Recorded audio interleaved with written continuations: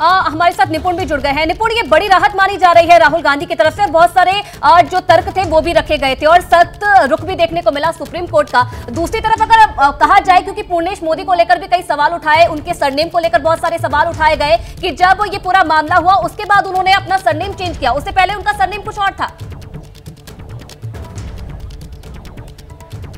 देखिए, ये सब बातें जो हैं, ये मेरिट की बातें हैं और सुप्रीम कोर्ट ने साफ़ कहा है कि अपील लंबित है सेशंस कोर्ट में, जो चीफ जुडिशियल मजिस्ट्रेट का ऑर्डर था, उसके खिलाफ अपील लंबित है। सेशंस कोर्ट के पास इसलिए हम मेरिट पर बात नहीं करेंगे। यानी ये जो दलीलें हैं, इनकी बात नहीं की है सुप्रीम कोर्ट ने।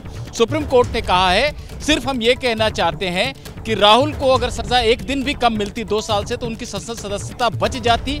और अभी भी जब उनकी अपील बिल्कुल तमाम तो चीज़ें हैं निपुण लेकिन सामान्य भाषा में समझना चाहते हैं कि राहुल गांधी चुनाव लड़ पाएँगे या नहीं लड़ पाएँगे। वायनाड की जो स्थिति बनी थी असहज उसको लेकर कितनी राहत है?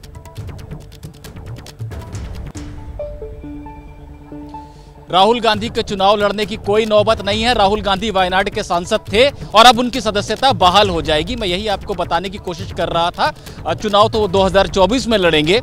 अब जब उनकी उनकी दोष सिद्धि पर सुप्रीम कोर्ट ने रोक लगा दी है रोक लगाने का सबसे बड़ा आधार इसी बात को माना है कि अगर दो साल से कम सजा होती एक दिन की भी तो वो संसद सदस्यता के योग्य बने रहते, पहली बात। और दूसरी बात, जब वो अयोग्य हैं तो वायनाड के जो लोग हैं, लाखों लोग हैं उनके अधिकार प्रभावित हो रहे हैं क्योंकि वो जनप्रतिनिधि के बिना है।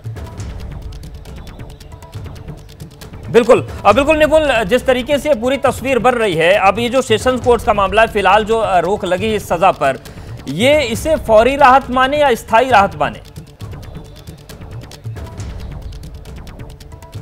देखिए ये फौरी राहत है ये अंतरिम राहत है। अब जब भी सेशंस कोर्ट मान लीजिए कि सेशंस कोर्ट कल को फैसला देता है और इसी दो साल की सजा को बरकरार रखता है तो ये सारी अयोग्यता फिर से राहुल के रास्ते में आ जाएगी। लेकिन अगर सेशंस कोर्ट बरी कर देता है अपील में राहुल को तो सारी बात खत्म हो जाएगी। या सेशंस कोर्ट सजा को घटाकर दो साल से डेढ़ साल कर देता है तब भी ये बात खत्म हो जाएगी। यानी जब तक सेशंस कोर्ट फैसला नहीं देता है, तब तक दोष सिद्धि पर रोक है। उसके बाद की जो स्थिति बनेगी, उस पर अलग से बात की जाएगी। सेशंस कोर्ट कब तक फैसला देगा, अभी ये तय नहीं है। निपुण एक और सवाल, इस फैसले के बाद क्या राहुल गांधी इस सत्र में या फिर अगले सत्र में संसद में दिख पाएँगे?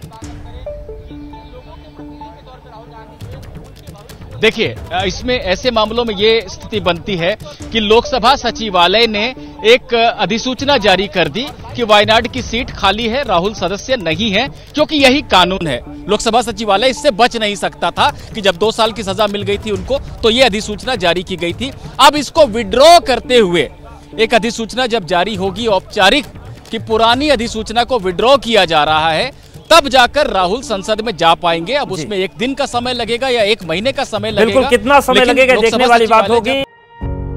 पत्रकारिता कोई इमोशन नहीं है। ना अपना कोई ज्ञान देना है और ना कोई विचार थोपना है। पत्रकारिता क्या है?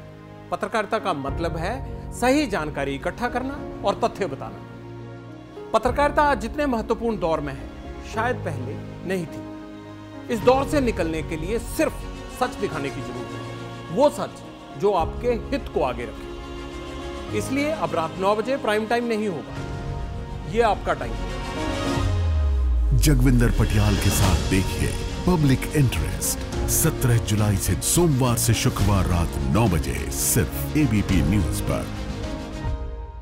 एबीपी न्यूज़ आपको रखे आगे।